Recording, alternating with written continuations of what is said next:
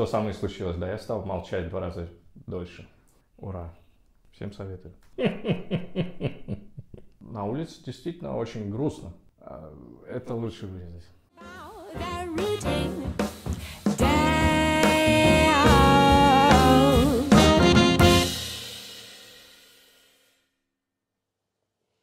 Здравствуй, Женя. Здравствуй, Дима. Ты в том году записал офигенный альбом. Спасибо. И с того момента, как мы виделись, а, произошло несколько клевых событий. Во-первых, радио джаз отметил твой альбом как лучший в прошлом году, и это очень здорово. И ты собираешься писать второй. Давай Да. по, по- по порядочку. Что тебе дает эта премия? Вообще, как ты относишься к премиям, конкурсам и прочей музыкальной вот этой истории? Ну, они, наверное, каждому можно относиться, наверное, в отдельности. Но если обобщить, то я думаю, что ну, в идеале спокойно нужно к этому относиться. С любой стороны, если у тебя что-то получилось или если у тебя что-то не получилось. Я думаю, что в нашем случае, ну, это точно не повод э, сходить с ума, но повод порадоваться. Супер. Когда следующий альбом? И как я понял, ты сначала вышло новое видео у Саши Малича, потом у тебя недавно был концерт на сцене Александринки, и там уже была новая программа, и ты объявил, где-то я видел в интервью, что новый альбом будет при поддержке Rainy Days. Да, э, как раз после того, как мы сделали вот этот сюжет «Ход культур», э, потому что, ну, ты сам знаешь, ты сам участвовал, это совместный проект Саши Малича и лейбла Rainy Days. И после этого уже мы начали обсуждать э, с лейблом, соответственно, возможные варианты в принципе, они сделали предложение, что, возможно, они будут заинтересованы в том, чтобы а, второй альбом наш записать уже на их лейбле. Мгм. Вот, ну и не так давно мы вроде бы какие-то формальные какие-то вопросы уже э, обсудили, и э, запись запланирована на конец ноября, то есть, ну, совсем скоро уже. То есть весной, летом мы ждем. Я точно пока не могу говорить, потому что это все зависит от ряда факторов и обстоятельств, возможно, еще нам неизвестных. А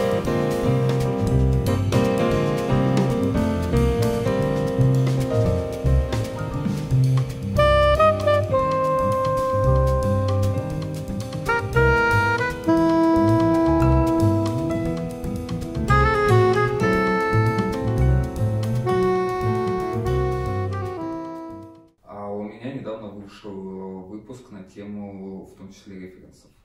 Так. У меня к тебе вопрос о первом альбоме. А, Для меня самая любимая композиция это искусство тишины. И, э, как видишь, у Даши тоже. И тут вопрос такой. Вот эта идея со стоп-таймом и тишиной, она твоя или ты ее где-то подслушал? А, и Я не берусь утверждать, что она моя, но специально я ее нигде не, не слушал. То есть, ну, сейчас, в принципе, утверждать что-либо, что это, это я, ну, наверное, это просто глупо, потому что столько всего уже написано, что... Вот. Но намеренно я ничего в качестве референса не использовал. И, кстати, эта песня вообще старая, то есть я ее написал, мне кажется, лет 18 назад. И второй раз, когда наступает тишина, я добавил еще один такт тишины. Да. Это Это собственно, единственное такое а, глобальное изменение, которое я вне... да, Что со мной случилось? Да, я стал молчать в два раза дольше. какая музыка будет на новом альбоме? Мне сложно как-то это описать в двух словах. Это будет, опять же, это будет эм, смесь музыки, которая написана прямо сейчас, и музыки в том числе э, чего-то, что там я не играл, опять же, вот эти какое-то количество лет. Мгм. А, что, ну, опять же, я откуда-то достал, немножечко переосмыслил под свое сегодняшнее понимание и свои какие-то ощущения. И вот мы попробуем это записать. И, соответственно, ну да, это вот будет такое сочетание чего-то, что вот прямо вот буквально там написано там последние там какие-то месяцы и чего-то, что ну, совершенно давно было записано. А если вопрос про там стилистическое какое-то направление, это все будет э, достаточно, мне кажется, разношерстно. Мгм. Вот. И будут даже специальные гости. Ну-ка. А об этом позже. Хорошо, романтическое. А расскажи, как, как ты сочиняешь музыку вообще? Это у тебя процесс а, спонтанный, по плану, по часам? Как вообще это происходит? Это, наверное, удовлетворение потребностей. То Мгм. есть, ну, принципе, ну, я получаю от этого удовольствие, как бы и от процесса, и в идеале от результата, да, и поэтому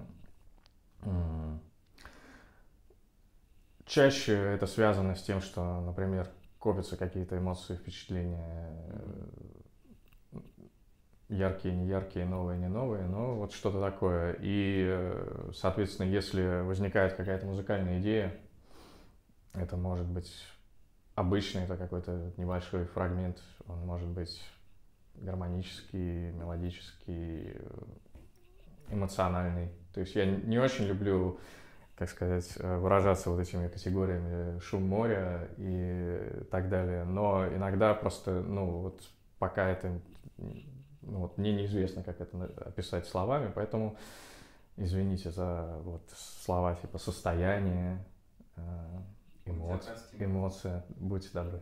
Вот, то есть бывает что-то вот такое, и а, если это состояние как бы удается зафиксировать, то песня пишется легко. Потому что, в принципе, она просто вот э, это состояние передает. И, собственно, как-то что-то из себя там выскабливать не приходится. То есть это достаточно органично естественно происходит. Что-то такое. Супер. Давай от э, твоего сольного проекта перейдем к проектам а, условно сайдменским.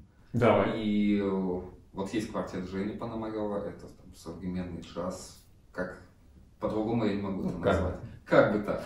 Есть, например, твое участие с Юлией Михайловской, где джаз Бывает, совсем счастью, не да. современный.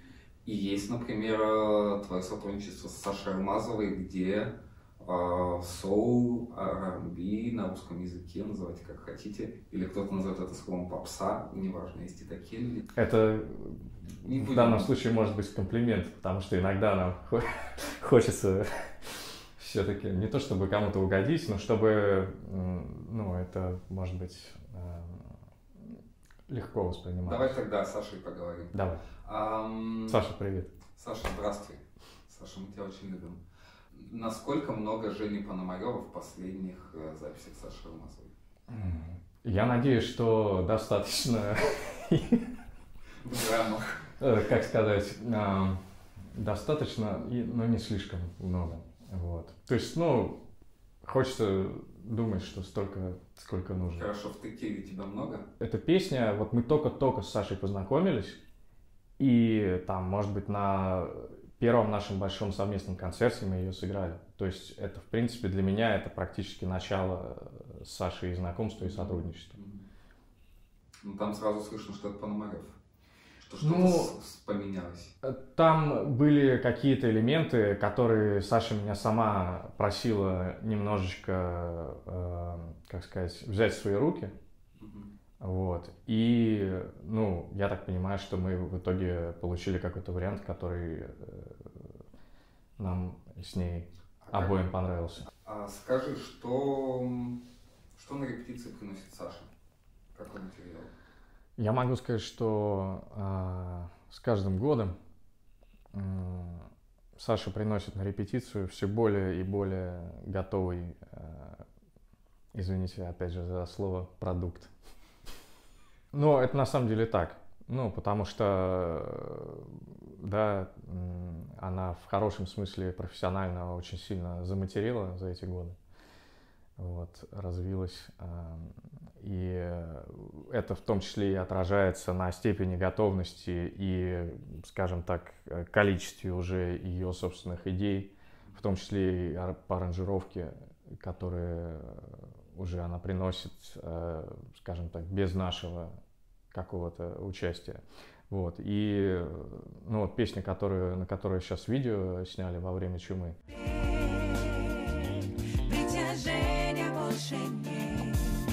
В принципе, как Саша сделала у себя там э, в редакторе, э, в какой она там пишет, э, принесла ее, мы ее успели до, до того, как э, всех закрыли, разок порепетировать просто на точке, и она сразу же вот звучала вот так, в принципе, как она и звучит сейчас, мы вообще ничего не меняли. Это очень здорово. Почему проект Саши Non Cadence не стал супер популярным? Ну, по множеству причин.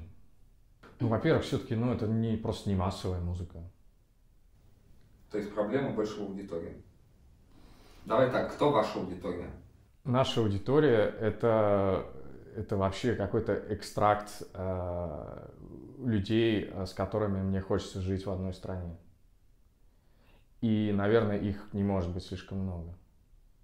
Не потому, что я такой привередливый, но просто так получается. Это как бы не мое мнение, это э, все, в принципе, в группе чувствуем. Потому что а, когда мы только начинали, э, ну, вот когда мы с Петей Михеевым присоединились к группе, у нас было там два, ну, минимум два года, когда мы достаточно активно ездили по стране, в том числе и ездили и в Минск, и в Киев, в том числе.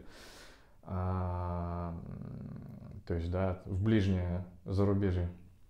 Вот. И э, куда бы мы ни приезжали, абсолютно неважно, как выглядит город, а, то есть мы приезжали и в такие города, ну, где на улице действительно очень грустно, очень э, кое-где тревожно, а в зале картина приблизительно одна.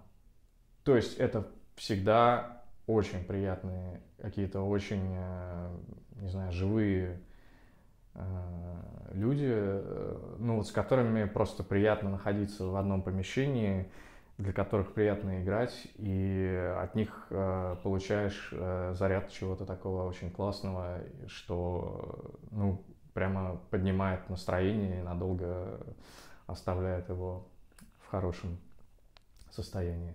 Сашу саму постоянно об этом спрашивают, и она говорит, что я бы, как бы, в принципе, вот, вот этих... э, Понятно, что всем хочется стадион, с одной стороны, а с другой стороны, стадион, э, ну, понятно, что тем, кто не собрал стадион, легко говорить, что мне не нужен стадион, да?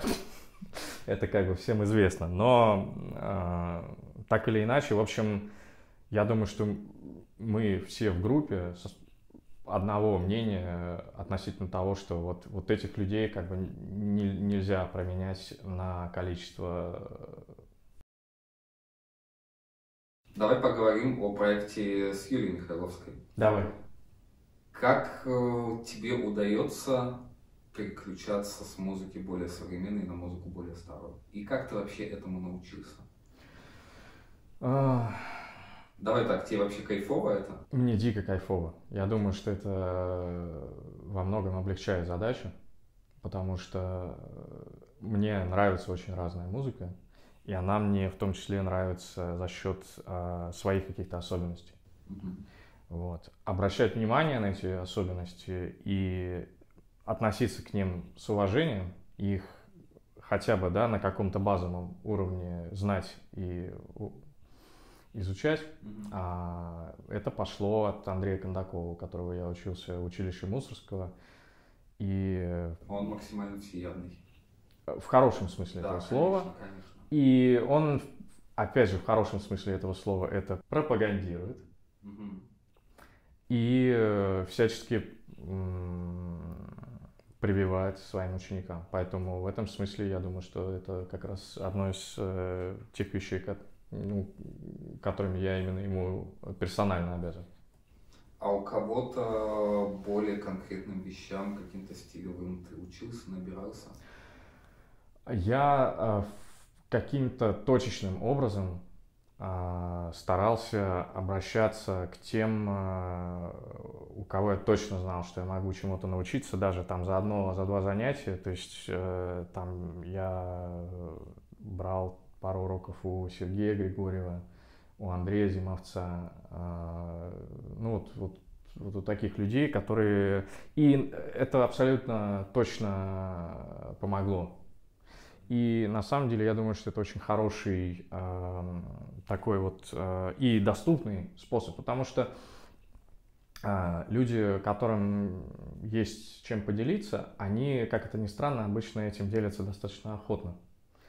Вот. э, И мне кажется, что особенно молодым музыкантам обязательно нужно этим пользоваться. То есть, если они этого человека видят и видят, что он не против может быть, э, с ними либо что-то обсудить, либо встретиться на частный урок. Да? Мне кажется, обязательно нужно им эти- этим пользоваться, потому что э, даже че- попытка почер- почерпнуть какую-то информацию, причем, может быть, одну и ту же информацию, но из разных источников, мне кажется, это может быть очень эффективно. И каждый, что каждый человек все равно немножко по-своему все видит. И вот эта возможность немножко рассмотреть, казалось бы, одно и то же, но под разными углами, мне кажется, может быть очень полезно. Всем советую. Ты сейчас сам преподаешь в училище Мусорского. Бывает. Ну, что ты преподаешь? Аранжировку. Как тебе сегодняшние студенты? Очень здорово. Они э, меня очень сильно радуют.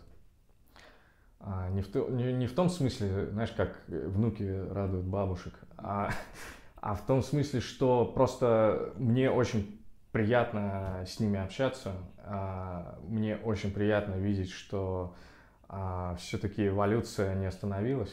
Мгм. Вот, э, это очень здорово.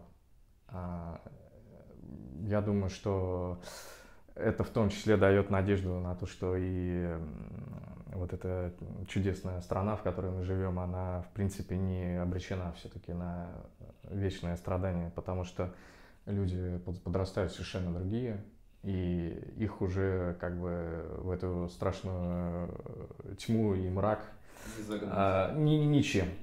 И это не только э, касается человеческих каких-то качеств. Ну, они м, в- общем, как мне кажется, действительно им что-то нужно, Мгм. а, им интересно, они что-то хотят, и они не только что-то хотят, у них что-то еще и получается. Это очень классно, поэтому я получаю большое удовольствие. Сейчас переключимся и уйдем в, в далекие времена, когда ты плавал на круизном корабле. Так, А сколько лет ты провел на корабле? я не считал. То есть чистого времени я не считал. Чему тебя это научило? Очень много. А ты знал до этого язык из между Слушай, я знал язык а, очень неплохо а, с точки зрения всего, кроме э, того, что необходимо. То есть возможности свободно разговаривать. То есть я хорошо понимал, я нормально писал, а, у меня был неплохой словарный запас и адекватное какое-то знание там, грамматики. Вот. Но э, практического применения, э, ну вот у этого, к сожалению, быть э, на хорошем уровне не могло. Мгм. Вот. Поэтому именно непосредственно работа в англоязычной компании меня очень быстро привело, привела в нужное состояние именно с точки зрения разговорного языка. То есть это, безусловно, плюс. Очень э, мультинациональная э, там э, команда. Мгм. Вот. То есть обычно это там, ну, в среднем там 60 стран, это только персонал. Еще там гости там от- отовсюду. Вот. Поэтому очень много я узнал именно из первых рук каких-то вообще страшных инсайдов про разные очень интересные национальности. Потом, ну, я побывал э, в- огромном каком-то количестве стран, где, ну, я бы, наверное, если бы не эта работа, я бы никогда бы там не оказался. Вот. То есть, ну, это тоже очень здорово. Потом, ну, это просто в сознании меняет понимание масштабов а, нашей планеты, как оказывается совсем небольшой. Вот, когда ты понимаешь, что вот все равно все это достаточно компактно. Особенно, когда ты через э, океаны переходишь на этом корабле, и то есть ты как бы смотришь в окошко, то есть это не то, что ты там 8 часов пролетел, и типа ты катапультировался, телепортировался или еще что-нибудь с тобой случилось. А ты непосредственно вот как бы вот по воде это расстояние проходишь, там с какой-нибудь, ну, условно, там из Новой Зеландии в Барселону, вот у меня был такой вариант.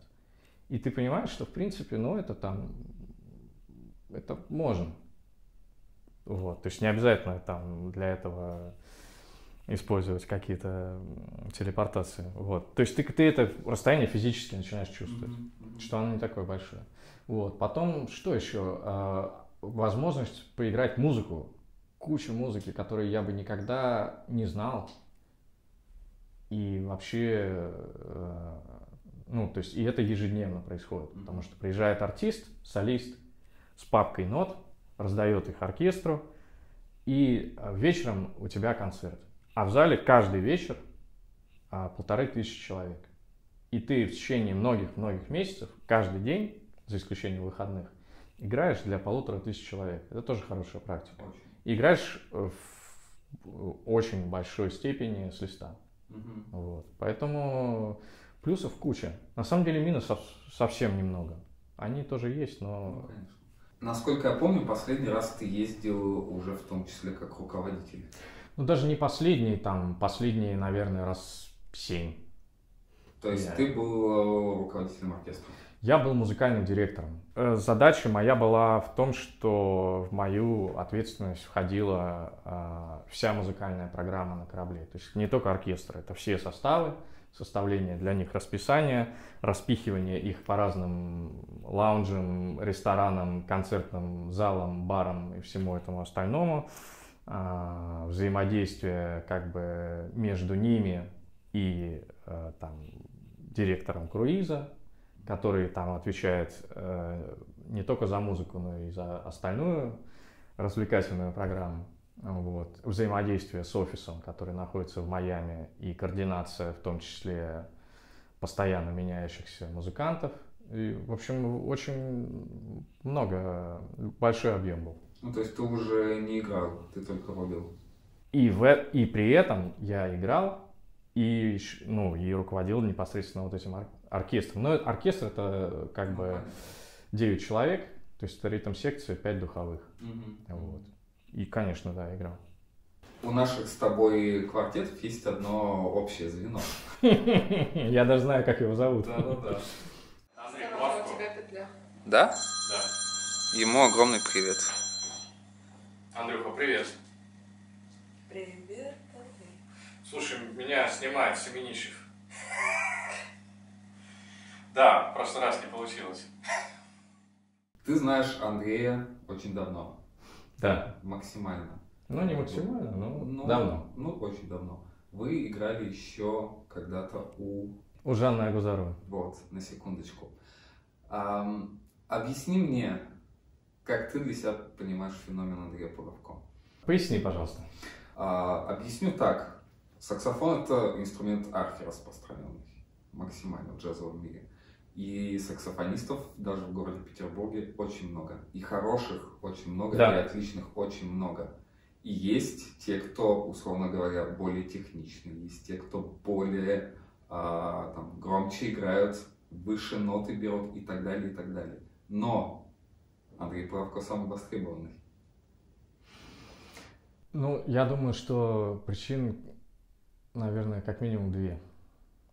Во-первых, я думаю, что он, э, опять же, в хорошем смысле, немножко более всеядный.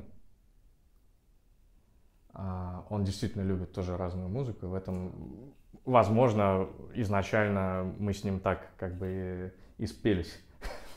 Вот, потому что и в, и в этом смысле у нас тоже очень много общего. Вот. Он любит разную музыку, и он, в принципе, да, в этом смысле одинаково как-то к ней э, подходит, в том числе и уважительно. Да, то есть у него нет такого, что вот здесь это серьезно, а это вот какая-то фигня, и здесь э, и вообще это как бы э, сегодня за это платят, и я там пошел играть. То есть все как бы с- профессионально и а, с должным уровнем а, какого-то качественного отношения. Мгм. Да. Второе. А второе, видишь, ты просил не растекаться, у меня не получается. Ну, чуть-чуть растекись. Я растекусь. Да. Нет, на самом деле второе, оно еще лаконичней. А, Есть, это не я придумал понятие, но мне кажется, оно очень точно для Андрея подходит. Есть люди, которые очень хорошо играют на своем инструменте, а есть те, которые на нем поют. Вот Андрей поет. Просто к чему этот вопрос? Он такой, он такой очевидный, потому что многие задаются именно вот я занимаюсь, вот я учу фразы, вот я делаю то, вот я делаю это, вот я работаю со звуком, а почему не получается? Вот. И мне кажется, это ответ. А скажи, как сейчас занимаешься ты? А, Я занимаюсь, опять же, к счастью для меня, э, модель та занятий, которая мне наиболее удобна, она, э, собственно, ну, как-то работает. Попытаюсь объяснить. Мне удобнее всего заниматься а, к чему-то. То есть не просто вот я сижу и занимаюсь, но я непосредственно преследую какую-то цель. То есть у меня а, там грядет какой-то концерт, какая-то запись, какое-то событие, там, репетиция, может быть, да? Ура. Во-первых, моменты любые мотивационные сразу отпадают, потому что тебе не нужно придумывать себя как- там как-то под- подгонять, потому что у тебя просто стоит задача, у тебя есть план, и ты его придерживаешься. Выполняешь, да. Вот. И, соответственно, пока есть поводы, вот эти вот, к которым нужно готовиться, никаких нету вопросов. Мгм. То есть у меня не, не возникает вопрос, чем мне заниматься. То есть я знаю, чем. Вот, вот этим, вот этим, вот этим, вот этим. И, соответственно, у меня мои занятия и то, как они проходят, и чем я занимаюсь, они просто непосредственно связаны с моим расписанием. К сожалению, в этом году не состоится джаб, и состоится он, точнее, он состоится, но произойдет онлайн. Ам, когда был, по-моему, джаб два года назад или три, а, ты видел самого Херби рядом с собой. Что он для тебя? Что для тебя Херби Хэнкок? Это был Международный день джаза, Да. Это был- джаб, извини. Да. Э, но организаторы Одни и те же. По-моему, да. А, Это был, да, Международный день джаза, и так как мы участвовали э, в концертной программе, вот, не в гала-концерте, но в фестивальной концертной программе, нас пригласили на такой вот а, закрытый вечер уже после окончания, где а, мы, собственно, а, с замиранием сердца проходили между столами а, с бокалами вина и просто, ну, это, это было что-то такое. я не думаю, что я вот подобное ощущение испытывал когда-либо до этого. Потому что идешь, а здесь э, там сидит Херби Хэнкок.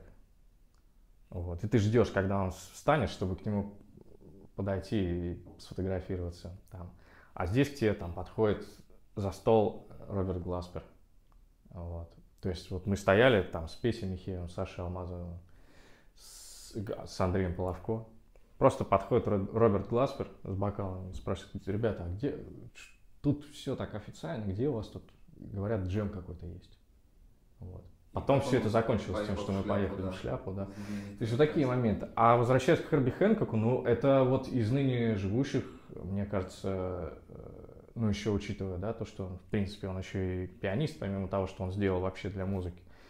Ну, это вот, э, пожалуй, из ныне живущих, наверное, вот э, такая э, глыба, наверное, таких каких-то вообще космических масштабов. Вот. И он, э, в принципе, все продолжает Творить. творить. И э, вот, да, это был какой-то момент такой, что вот удалось, э, мы подождали, пока его кто-то другой потревожил. Он э, встал, мы вот к нему подошли, у меня есть фотография дома с Херби Хэнкоком, и мы сказали ему спасибо за все большое. Назови пять своих любимых пианистов прямо из головы, не задумываясь. Ну, начинается. Нет, ну, слушай, ну, кон- ну, Херби Хэнкок, э, Петручани, э, Лайл Мейс, э, Билл Эванс, э, Брэд Мелдоу. Офигенная компания. А Кенни, Кенни, Кенни Барн. Он не влез, извини. Он... Надо. Надо. Шестым. И трех музыкантов, которые на тебя повлияли больше всего. Пэт Мессини. Тройной. Оказавшись перед Пэтом, что ты ему скажешь? Я спрошу, почему а, с того года, когда мне было, по-моему, два, он ни разу не приехал с концертом на мою прекрасную родину. Спасибо, Женя. Спасибо, Дима. Thank